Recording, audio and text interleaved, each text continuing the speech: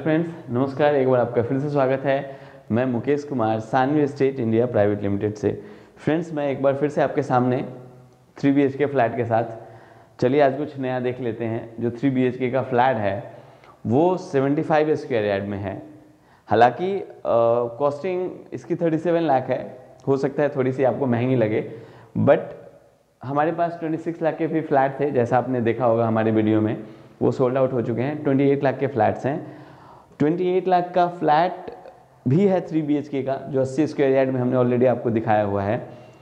ये जो फ्लैट है, इसका three B K flat 75 square yard में 37 लाख रुपीज़ का जो मनसाराम पार्क में है चूँकि इसकी लोकेशन बहुत अच्छी है। आप इस फ्लैट की बैल्कनी में खड़े होंगे तो आपको सामने मेट्रो लाइन दिख जाएगी। तो सारी चीज़ें डिपेंड करती है कि आपका जो लोकेशन है फ्लैट का, वो कहाँ पे है। उसी के अकॉर्डिंग प्राइस डिसाइड होता है। हालाँकि, अगर मैं थ्री बी की बात करूँ अपने पास तो 28 लाख रुपीज़ से लेके 90 लाख रुपए तक के फ्लैट हैं और उसका जो साइज़ स्टार्ट होता है, वो 70 गज से लेके आपका डेढ़ सौ गज तक है। तो ये अभी हम आपको फ्लैट दिखाएँगे और अभी मैं आपको लिए चलता हूँ, जो हमारा फ्लैट है, उसके सामने वाली रोड पे फिर फ्रंट एलिवेशन देखेंगे और मैं कोशिश करूँगा कि आपको छत पे भी ले चलूँ, थोड़ा छत से भी आसपास के आपको लोकेशन दिखाऊँ।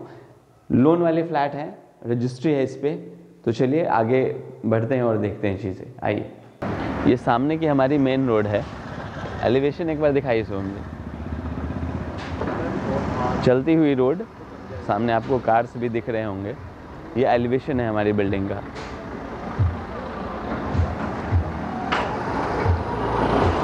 और अगर गेट दिखाऊँ तो ये जो मेन एंट्रेंस है जो पार्किंग का एरिया है स्टेनलेस स्टील की डोर लगी हुई है, जैसे ही हम इस बिल्डिंग में एंट्री लेते हैं तो ये हमारा ईस्ट फेसिंग है। मीन्स ये जो प्लॉट है हमारा, वो है ईस्ट ईस्ट वेस्ट यहाँ आप, मैं आगे बढ़ने से पहले आपको ये दिखाऊँ कि यहाँ जो मीटर सेक्शन दिया गया है,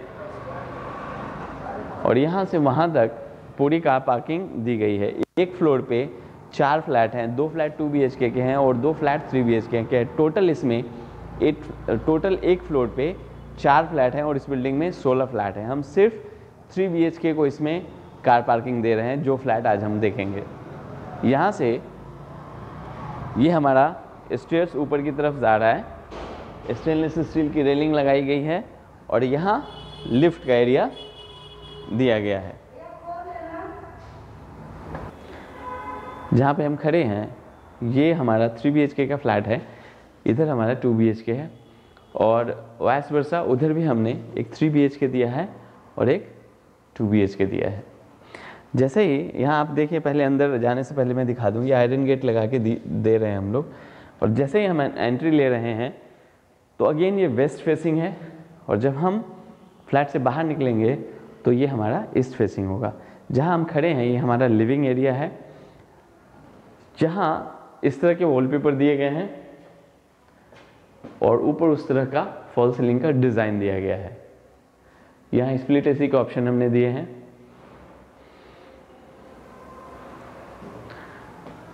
और ये वाला टीवी यूनिट से यहाँ जो हमारा पैनल है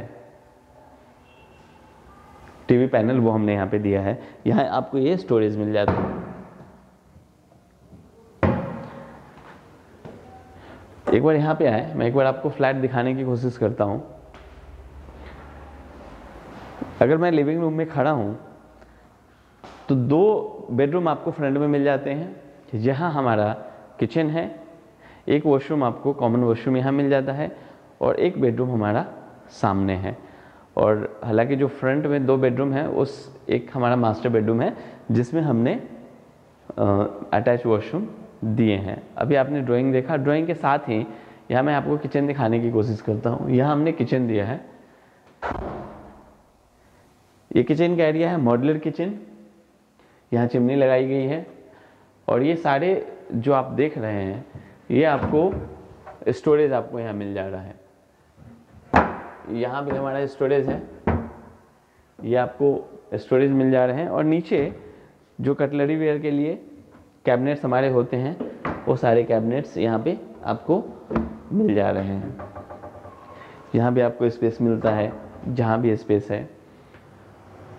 और ऊपर थोड़ा दिखाएँ तो इस तरह का इधर हमने लाइट्स भी दिया है। टैप लगाए गए हैं, यहाँ हालाँकि आड़ो और विंडो जो, आड़ो और गीज़र दोनों का प्रोविज़न दिया गया है।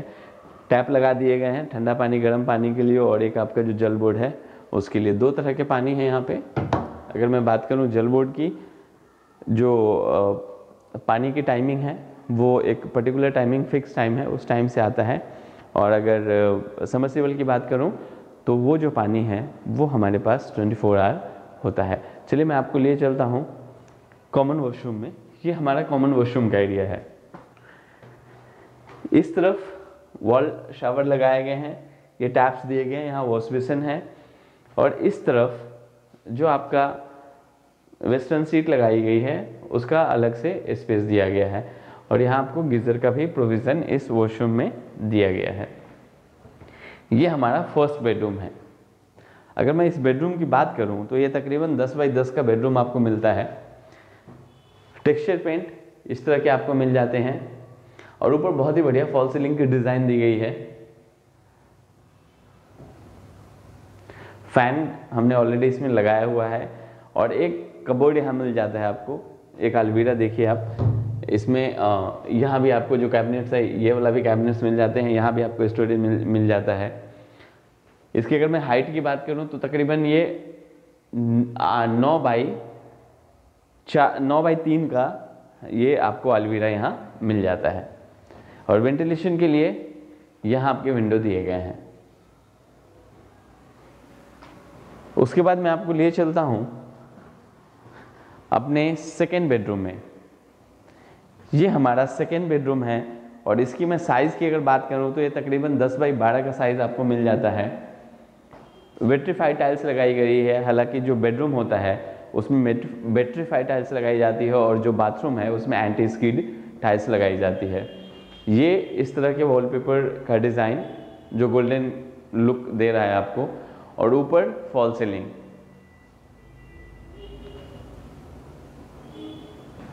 फॉल सीलिंग में जो ब्लू कलर की कॉब लाइट्स लगाई गई है एलईडी लाइट्स भी हैं इनफैक्ट इसमें हमने ट्यूब लाइट्स भी लगा दिया है।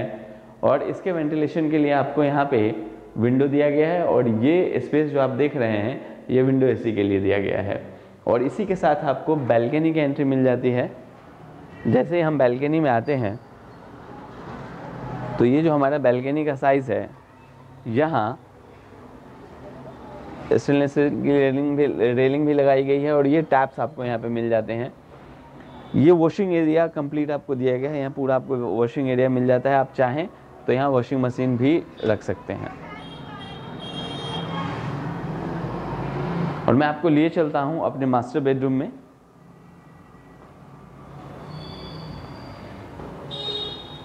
आइए। ये हमारा मास्टर बेडरूम है। इसमें अगेन आप टाइल्स देख रहे हैं और ये इस तरह के जो टेक्सचर पेंट है, वो इस तरह के किए गए हैं। साइज़ की अगर मैं बात करूँ तो तकरीबन 10 बाई ग्यारह का ये बेडरूम का साइज़ आपको मिलता है, जो मास्टर बेडरूम है हमारा। वेंटिलेशन के लिए यहाँ पे स्पेस दिया गया है और एक वॉशरूम आपको इसके साथ जो अटैच वॉशरूम है, वो आपको यहाँ मिल जाता है। यहाँ वॉश बेसन लगाए गए हैं, यहाँ कमोड दिया गया है, यहाँ आपका एक बार दिखाएँ, गीज़र के लिए यहाँ पे स्पेस आपको यहाँ गीज़र के लिए स्पेस मिल जाता है। और यहाँ भी वॉल शावर लगाए गए हैं और ये टैप दिया गया है आपको। इसके वेंटिलेशन के लिए भी यहाँ पे स्पेस छोड़ा गया है। तो फ्रेंड्स ओवरऑल मैं अगर इस फ्लैट की बात करूँ तो ये जो हमारा फ्लैट है, और फ्लैट दिखाने से पहले एक बार मैं फॉल सीलिंग एक बार दिखाइए आप।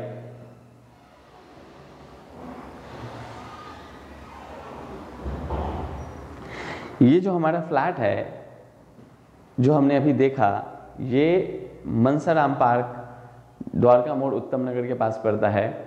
इसकी जो हमने कीमत रखी है, चूँकि इसकी लोकेशन अच्छी है, इसलिए इसका जो प्राइस है, वो 37 लाख रुपीज़ का है। अगर आप बैक साइड का लेंगे, ये फ्रंट साइड हमने देखा है। इसमें बैक साइड में भी फ्लैट है। अगर बैक साइड आप लेंगे तो वो आपका 35 लाख रुपीज़ का पड़ेगा। इसमें लिफ्ट लगी हुई है और इसके साथ हम लोग कार पार्किंग भी दे रहे हैं। तो चलिए मैं आपको एक बार छत पे लिए चलता हूँ, फिर हम वहाँ पे वीडियो को एंड करेंगे। आइए। आ गए हम अपने छत पे। मैं थोड़ा सा आपको आसपास का डेवलपमेंट दिखाता हूँ कि जो एरिया है जहाँ पे हम खड़े हैं, एक बार आप चारों तरफ़ घुमा के दिखाएँ कैमरा पूरा डेवलप्ड एरिया अगर मैं मेट्रो लाइन की बात करूँ तो और